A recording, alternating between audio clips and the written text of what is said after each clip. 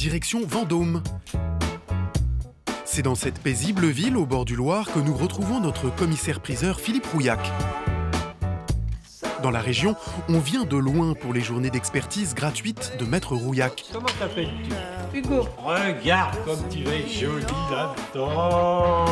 Et il ne déçoit jamais son public.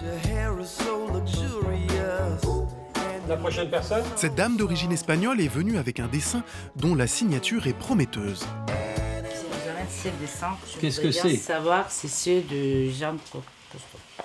Quelle est cette histoire déjà avec vous? Ben ça, c'est un ami qui a hérité ça de son frère, mais on ne sait pas vraiment où il l'a acheté ou comment il l'a eu. On ne sait pas si c'est euh, faux ou vrai. Alors le sujet est difficile, hein, c'est une tête de Christ, d'homme souffrant, mort. Un sujet plutôt inhabituel pour Jean Cocteau, dont on se souvient surtout des dessins érotiques. C'est un homme qui était poète, écrivain, il a touché, c'est un touche à tout génial, Cocteau. Hanté par la vie, donc hanté par la mort. euh. Alors, ce qu'on peut dire, c'est c'est une étude préparatoire. vous Voilà. voyez.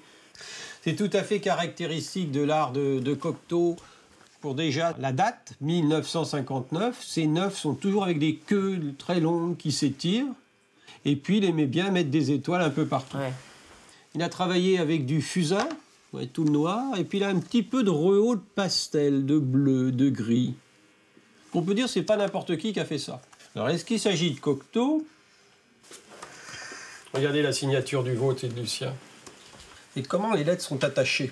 Et son J est le même. On peut imiter un artiste, mais copier une signature, il faut vraiment s'exercer longtemps, longtemps, longtemps avant. On copierait pour Cocteau euh, des nus, des scènes érotiques. C'est plus commercial. On copie pas une, Christ- une tête de Christ. C'est comme la foi, il faut y croire. Hein. Ben oui. Personnellement, j'y crois. Je pense que ça vaut la peine de le soumettre au comité Cocteau. Si Cocteau nous dit c'est bien, on vend. Un dessin préparatoire pour une composition sur le théâtre, la danse, ça vaut 1500, 2000. Là, on est hors norme.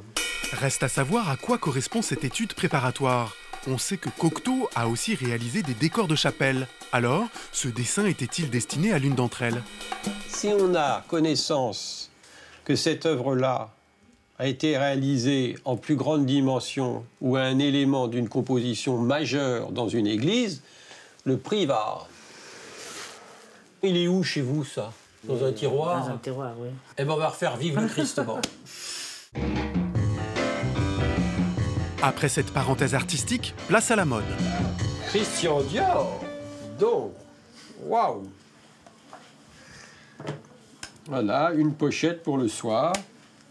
C'est en toile imprimée, avec l'initiale CD, puis à l'intérieur la grille. Vous avez acheté ça dans une... euh, Vous avez payé ça 30-40 euros Non. 50 centimes. Pardon 50 centimes. Bravo, continuez. C'est une vraie? Oui, c'est vrai. C'est une vraie pochette de Christian Dior. Je t'ai fait un beau cadeau quand même. Oui, C'est pas Made in Marocco, Made in Bon, Taïwan. c'est bon, c'est ce que je voulais Non, non, c'est vrai. alors. Produit de luxe, industrie française, chic. Voilà. Waouh Classe, hein Ça vous va très bien. Merci. On vous remercie. Très c'est bien. gentil. Au revoir. C'est la fin d'une longue journée d'expertise pour Maître Rouillac, mais son dernier client est venu avec un objet qui a traversé l'histoire. Bonjour messieurs, qu'est-ce que vous avez apporté de beau? Alors voilà, un petit verre à scope, taxiphote. Cet appareil photo au nom un peu énigmatique, le taxiphote, est inventé au début du XXe siècle par un Français, Jules Richard. Doté de deux objectifs, il permettait d'avoir une image en relief.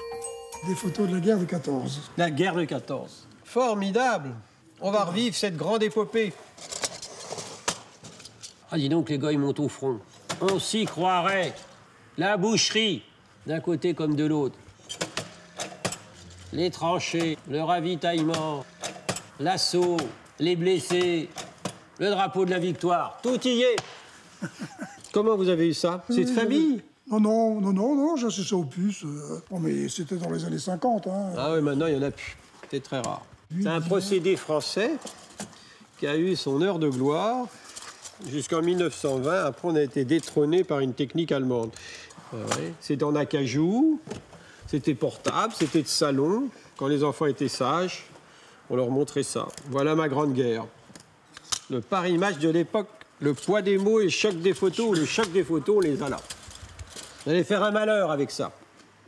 Avec les commémorations de la Première Guerre mondiale, vous êtes pile poil dans l'actualité. Alors, qu'est-ce que ça cote? Alors là, j'ai aucune idée. Là, vous avez le facteur psychologique de la guerre de 14. L'appareil en lui-même, 300, 500 euros. L'année dernière, les plaques de 14-18, 0 euros. Oui, mais c'était Bah oui. dernière. Cette année, 2014, les plaques de 1914-1918, plusieurs centaines d'euros. Et puis on comptera les points. Conseil d'expert, la valeur d'un taxifote dépend du nombre et de l'état de ses plaques. Elles doivent avoir été conservées à l'abri de la lumière et elles prennent encore plus de valeur si elles sont légendées et datées.